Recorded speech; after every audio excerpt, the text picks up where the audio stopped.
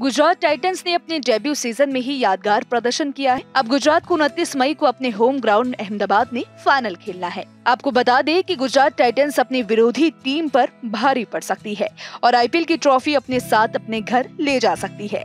तो आइए जानते हैं कि क्या कहता है आईपीएल का इतिहास। दरअसल आईपीएल के इतिहास में नज़र डाले तो ऐसा महज तीन ही बार हुआ है जब अब पहला क्वालिफायर मुकाबला जीतने वाली टीम आईपीएल का फाइनल मैच ना जीत पाई हो। 2013 में चेन्नई सुपर किंग्स 2016 में रॉयल चैलेंजर्स बैंगलोर और 2017 में राइजिंग पुणे सुपर जायंट्स ये टीमें ऐसी रही।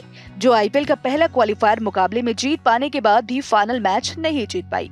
बाकी आठ सीज़न में पहला क्वालिफायर मैच जीतने वाली टीम ही आईपीएल का खिताब अपने नाम कर पाई है।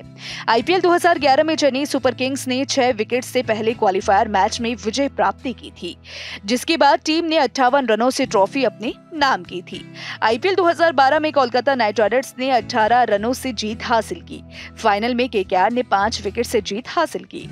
आईपीएल 2013 में चेन्नई सुपर किंग्स ने 48 रनों से क्वालिफायर मुकाबला जीता था। लेकिन फाइनल में मुकाबले में तेईस रनों से मुंबई ने बाजी मार ली। 2014 में केकेआर ने 28 रनों से क्वालिफायर वन जीता, फाइनल में तीन विकेट से कोलकाता विजेता बनी। आईपीएल 2015 में मुंबई इंडियंस ने 25 रनों से क्वालिफायर वन अपने नाम किया।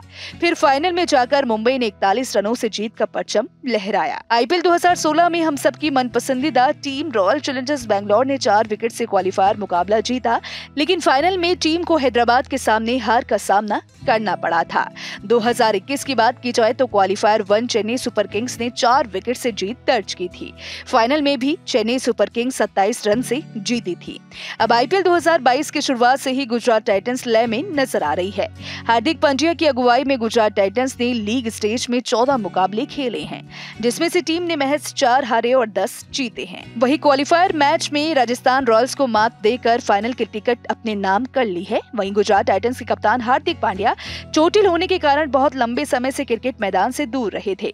उन्होंने आईपीएल 2022 के ज़रिए क्रिकेट मैदान में वापसी की है। उनका ये कम बहुत शानदार रहा। इस सीज़न में पांड्या ने 45 से ज़्यादा की औसत से चार रन बनाए और उनका स्ट्राइक रेट एक है। उन्होंने सात दशमलव सात तीन की इकोनॉमी से पाँच विकेट लिए हैं। अब देखने वाली बात ये होगी कि गुजरात टाइटंस के उनतीस मई, जो कि फाइनल है, अपना परचम लहरा पाती है या नहीं। इस वीडियो में फ़िलहाल इतना ही।